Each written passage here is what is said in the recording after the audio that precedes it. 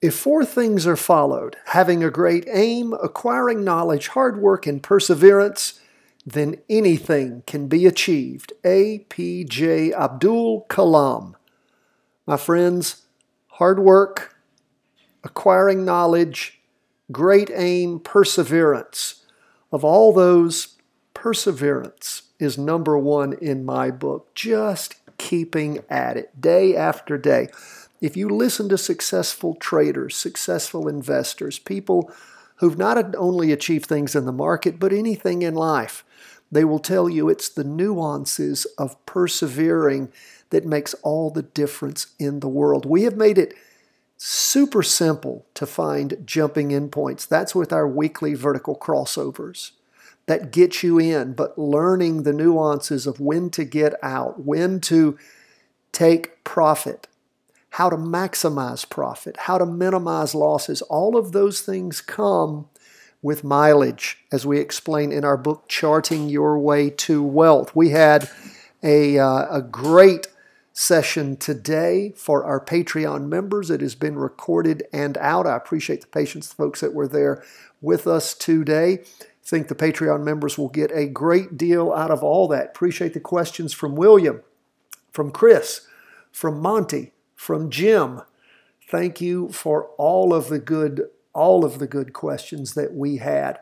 And we're excited about something that we're going to add to our Patreon support level, and that is going to be on Wednesdays and or Thursdays, we're going to be releasing the weekly vertical crossovers that are setting up up and down on the S&P 500. So, you want to get in on that, go ahead and become a Patreon member. Plus, you're going to get that special monthly training that we do.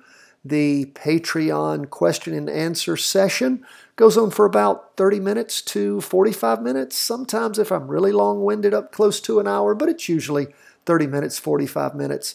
And you don't have to stay the whole time, but I know folks get a great deal out of it. And of course, you get a link to the pay, to the special Patreon training options made simple. You want to know what options are all about? Man, for $30 a month at that lowest level. You get that training and so much more. So think about that. Let's jump into these charts. We see stocks up a little bit for the day, bonds, gold, and Bitcoin down. Bitcoin continues to go in the direction of that weekly vertical crossover going down and the two day crossover that happened all the way back in March. Now, it ticked sideways for a little while, up some, and then just sort of popped up to its peak right there at $60,000 all the way back in mid March and just sort of has slid sideways and moving over. Price percent oscillator pulling away from the red signal line, derivative oscillator gaining downward momentum. So keep that in mind as we continue to watch Bitcoin. You know, it's popped up there around the $60,000 mark and it could take off again.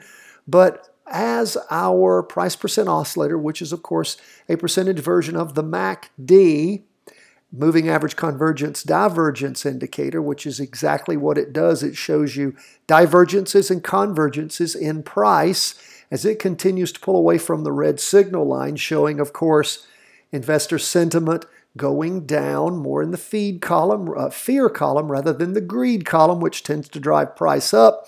Derivative oscillator, which is a triple smooth version, it's our leading indicator, triple smooth version of the relative strength index. We see it also gaining momentum down. So that's important to pay attention to. Look also two days of strong down movement in that half day chart with a crossover going down. So Let's see what Bitcoin ends up doing when it bottoms and when it rotates back over to start booming up again because that's one thing that Bitcoin does. You can look at the last time we had a weekly vertical crossover going up. Did it hum up or not? Somewhere from around $12,000, of course, up to that high of almost 60. Just unbelievable. Just unbelievable what we saw it do. So that's where we are on Bitcoin. We sort of started things off a little weird today. Jumped into Bitcoin first. Let's go now to the S&P 500. Do we have a weekly vertical crossover yet? No, because it's not Friday. If things keep going the way they are, we can see the blue price percent oscillator crossing over the red signal line. Derivative oscillator's already gone positive, up for the day just barely 0.12%, but we do have a nice big green up candle forming that two-day chart preceded, of course, the potential crossover going up on the weekly chart. We saw that happen on the two-day chart representing Wednesday and Thursday, the first that would be the 31st of March and the 1st of April. And of course, first day of this latest two-day candle is heading up. Derivative oscillator gaining upward momentum. Price percent oscillator heading up.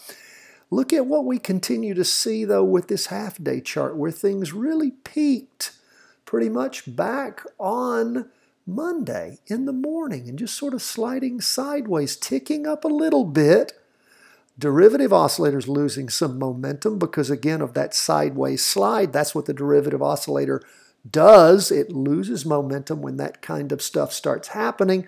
Price percent oscillator flattening also. So we'll continue to watch, wait and see just what's going to happen here. Is it is uh, our stocks just sort of maybe maybe digesting those gains previously and they're just going to digest them and pop up again? Or are we going to see this half-day trend line violated and then the that would then be the two-day recross going down? Is that possible? Don't know. But as the week end of the week gets closer and closer, we have a weekly vertical crossover that may be trying to happen. So we'll keep an eye on things, see how that goes. Not nearly as close on the NASDAQ 100. Do have a green up candle for the week. Price percent oscillator still negative. A ways to go before any potential of crossing over the red signal line. Derivative oscillator still fairly negative, losing downward momentum. Go to the two-day chart. And of course, it crossed over going up back on the 1st of April, then bounded up again with that two-day candle ending Tuesday the 6th. And then the first day of this latest two-day candle is up, but not reaching a higher high. Like we said, derivative oscillator pulling away, price percent oscillator heading up. And we see again sort of a, uh, a sideways slide here where things sort of peaked out on Monday and just sliding sideways Tuesday and Wednesday, edging up a little bit on that half-day chart. So we'll continue to watch and see. Um, the Qs was up twice the amount of the S&P 500. S&P up 0.12%, Qs up 0.24. And again, that's, that's 0.24 of a percent. So about a quarter of a percent. So again, not up much for the day. Bonds down 0.70%. What do we see? We look at the weekly chart. Still, we see we see a sideways, sideways slide. Also, price percent oscillator sliding sideways. Derivative oscillator losing some downward momentum. Bonds still negative. What are bonds going to do? Are they digesting these losses? Look at them just riding along the 200 period moving average line. Is that not interesting? That's the 200 week moving average line just sort of sitting there. Going to bounce off and move up or going to penetrate that and drop even further? Don't know. We'll watch, wait, and see how bonds continue to react. Go to the go to the two-day chart. It crossed over going up back on the two-day candle ending Monday the 29th of March. And look what it did. It dropped over for two days and then slowly sort of trying to edge up. Price percent oscillator lost a little bit over the last day. Derivative oscillator still gaining momentum. So we'll keep an eye on things.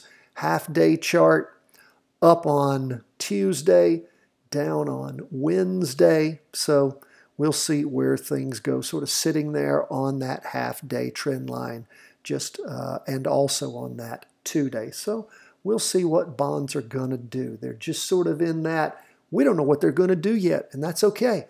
We don't have to do anything with them until they tell us. What about gold? Gold down for the day 0.30%.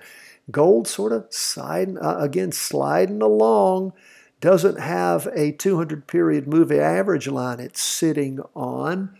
Uh, although we do see, we do see a, what is that line there? Is that just a grid line? That's just a grid line. Yeah, there's the 200 period, so it's a little further down.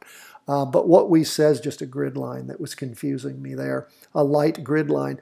But we see, again, price sliding sideways, derivative oscillator negative, price percent oscillator um, losing, well, about flat. Uh, derivative oscillator losing some downward momentum. Go to the two-day. Of course, it crossed over, going up back on the two-day candle ending Friday the 19th. What did it do? Sort of treaded sideways, dropped for four days, and then for the last five days, because we're only halfway through this latest two-day candle, it's been trying to edge up about where it was before that drop. Price percent oscillator uh, heading up, derivative oscillator gaining some upward momentum hoping that gold is going to finally find a bottom and take off. Two-day chart again, uh, moving from that to the half-day. We see where the half-day trend line was penetrated toward the end of the day as things just sort of slid sideways and down. So again, waiting for bonds and gold to sort themselves out for us, to tell us they reached a bottom and are going to start heading up. We're going to digest those losses and move down again. We've already covered Bitcoin for you. Did it a little backwards today, starting off with Bitcoin. We so appreciate you being with us. If you don't have a copy of our book, Charting Your Way to Wealth, we want you to have one. How do you get one? Follow the link in the show notes. We will get an autographed copy right out to you. And of course, we are continuing to work on the third edition. That is going to be a hyperlinked electronic edition. Videos, graphs, graphics, everything in there but in the meantime, we will get you the second edition, and when the third edition comes out in the next few months, we're going to email everyone who's bought our book a copy of the new one too. So go ahead and get started. Find out what we are all about. And of course, if you subscribe at chartingwealth.com every day, you get the special trainings that we put out. We have a good one for you today. It is entitled Commit a Little Time Each Day for Success. You will get a kick out of it some good information there. God bless my friends. All the best from the whole team at Charting Wealth World headquarters.